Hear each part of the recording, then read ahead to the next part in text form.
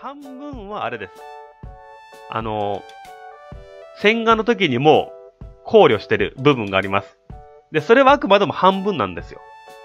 で、残り半分は見つけてます。着彩の時に。実は。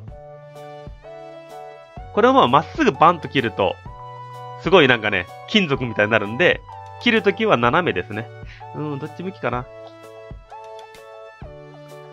切るときは斜めにこう切ると、柔らかさが少し出ていいかなと思います。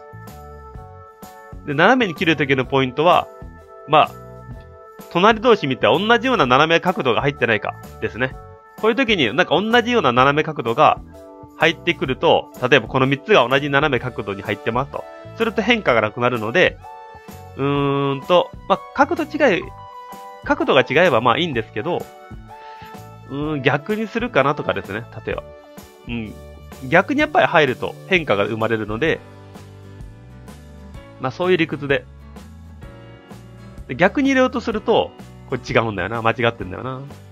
えっと、今これ見る限りは、ここが一番起点ですね。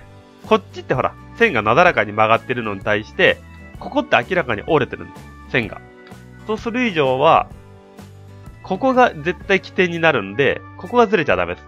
ここ起点にこっち向きに斜めに切るか、こっち側に斜めに切るかっていう判断になるんですが、まあ、左が結構目立つ右斜め下下がりの線があるので、まあ、上に上げちゃうかなっていうのが一番変化が生まれそうですね。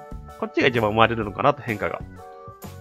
そんな気がします。なのでこっちを選択します。で、書いていって、で、えー、先端ぼかせば、こっちぼかせばいいかなと思います。で、こっちも一部、起点がね、ここなんで、起点から外れていくに従って、少しボケる感じで書いていくと、まあ、そうすれば安定するかなと思いますね。はい。うん。ふんわり。ふんわり入れる、ふんわり。こういうふんわり入れも大事なんで変化。ふんわり入れる、対比を。ここターンがもうちょっと変化が生まれそうかなってありますね。線がちょっと曲がってるので、ここも。ここちょっと折れてそう。で、これってあれなんですよ。狙ってなくて、さっきほら、半分は意図してつけてる。半分は塗りながら見つけるっていう話したんですけども、こことか見つけてますね。なんか線が折れてるなぁ、みたいな。線が折れてるなぁ。なんか面が変わってそうだなぁ。じゃあ塗っとくか、みたいな感じです。そんな感じでこれ実は探してて。まあ、再三ね、いろんなとこで申してるんですけども、線画で決まります。本当に線画で決まります。塗りって。なので、線が適当に本当にして塗り分かりませんっていうのは割とまかり通らないです。まあ、当然でしょう。なるんですね。そこをヒントに。で、ただ洗顔の時に、あのー、まあ、意図してない部分は結構あります。確かに実際。あるので、そういう時は塗りの時に見つけると。そしてもう一つ悲しい事件がございまして、事件というか、あの、線の柔らかい、硬いっていう話をよくするんですけども、実はこれって、なんとなく線引いたときに、硬い線を引いてしまう。硬い線ってのは直線ね。幾何学的な線。直線だったり幾何学的な線。引くと、あのー、生まれないんですよ。面の切り替わりが。これって結局線が柔らかいから自然と、あ、ここちょっと折れてる。ここちょっと谷がある。みたいな感じで、自然とこう、うねりが生じてる。柔らかい線を描くと。すると、そのうねりを起点として変化がつけられるというのがあります。なので、結局、線画の柔らかさって関わってくるんですよね、ここでも。自然と生まれます。そういうところが。はい。実はね、対比入れちゃおうと。あー、まあ一応2回の方で。そうですね、この辺ちょっと対比で入れちゃおうか。ちょっと入れちゃおうかね、この辺は。あんまりもう明るい部分に3影まで入れる必要はないかなとは思ってるので、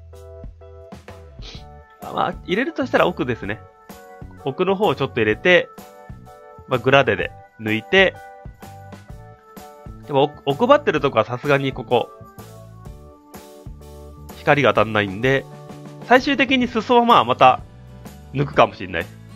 それは、なんかまあ、奥行き感っていうかなんかこう、前後感を出したいところは奥でも抜いてもいいんですけど、これは前後感も クソもないんで、完全に光が当たる当たらないの世界なんで、この辺は普通に暗くしてもいいかなと思います。で、まあ、一番きっちり入るここぐらいは暗くするかなっていうところで、はい。ファイナルアンサーで行きましょうか。じゃあ最後、ハイライトを入れていこうかなと思いますが、ここで、どうしよう。こんだけ前、いっか。はい。光が当たる部分にこうハイライトが入ります。ここね。ここは、こっちかね。ここに入れたくなるかな、ハイライト。どうでしょうか？面が、ここが一番上を向いてる面かなと感じたので、こっち側にハイライトが欲しいかなと。で、変化が欲しいから斜めに切ると。斜めに切っていって、抜くかなこれは。抜きで表現して、はい。で、ここをこう入って、こう持ってきたい。あ、ここ俺曲がってるか。っとここ入れるか。対比を。ファッと入れますかね。こっちどうしようか。ファッとここに入れても、まあいいと思うんだけどね。こんな感じで。これもありかなと。で、抜く。うん。これわかります？ここも対比ですね。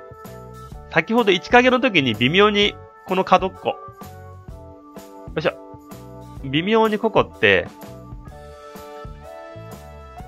ここ暗くしてるので、ここの面積暗くしてるので、まあその対比を微妙に表すって感じですかね。イメージ。で、ここはまあ当然、ピン、ピン、山立ち、ピン、山になってる、ピン、なってるから、書いて削る。ここもそうですね。山になってるとこはもう、ああ、で、これはまあ、柔らかいので、細めのエアブラシで、ピン、うっすら、うっすら入れて、濃く入れすぎたなと思ったら削って、ほんのりはんなりで、ほんのりはんなりでいくといいかなと思います。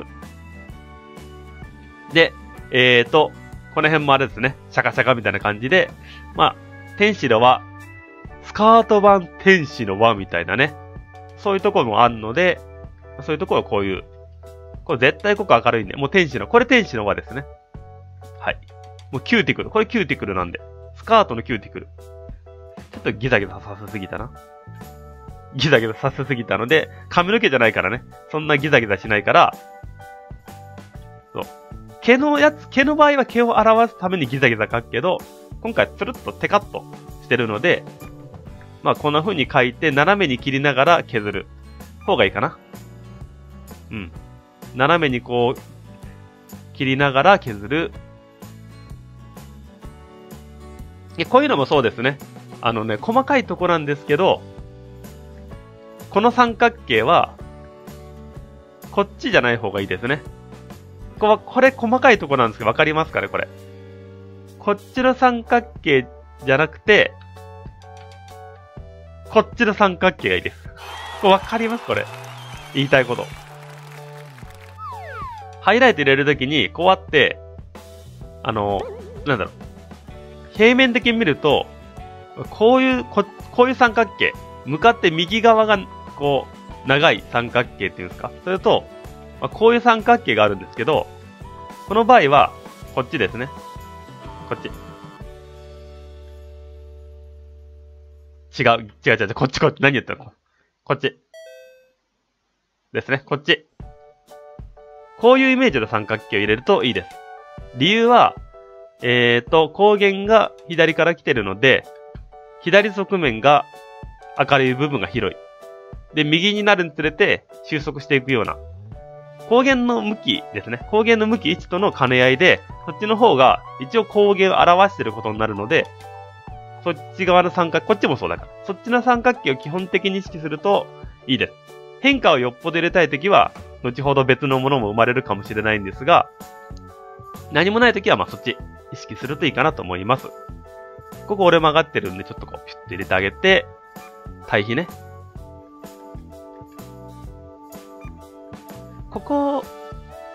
と対比入れるか。ここ少し折れ曲がってる風に見えるので、ほんのり入れて変化を出すと。うーんと、あとは、まあ、こあまあ、回り込み系は最後に足すとして、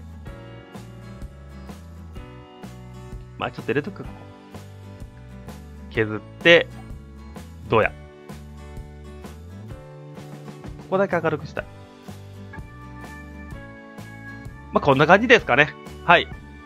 ということで、まあ、ハイライト1まで入れました。一旦ここで切るかな。はい。まあ、もうちょっと最後仕上げ残ってるんで進めていきたいと思います。一旦ここでお疲れ様でした。はい、えー、今回もね、ご視聴いただき、誠にありがとうございました。次も見てみたいという方はね、ぜひチャンネル登録の方よろしくお願いいたします。またね、こんな講座も見てみたい等のリクエストがあれば、お気軽にコメントいただけたらと思います。以上、タカでした。